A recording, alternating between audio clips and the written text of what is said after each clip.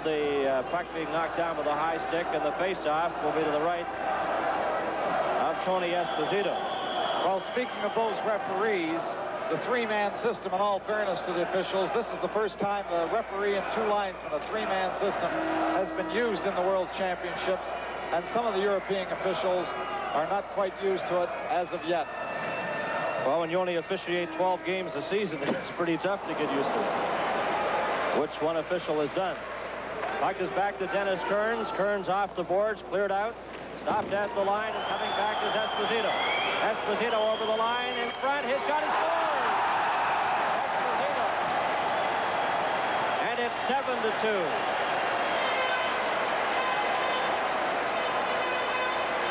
Well, here we have Esposito moving aside. He uses Klassen and Ellis as the decoy and shoots the puck by the glove side of Dzurilla. Here we see it again, but we see Esposito moving in a three-on-one situation. Dzurilla moves off the post, trying to cheat to both Klassen and Ellis in the middle. Espo seeing that, shoots the puck to the short side over Dzurilla's glove hand.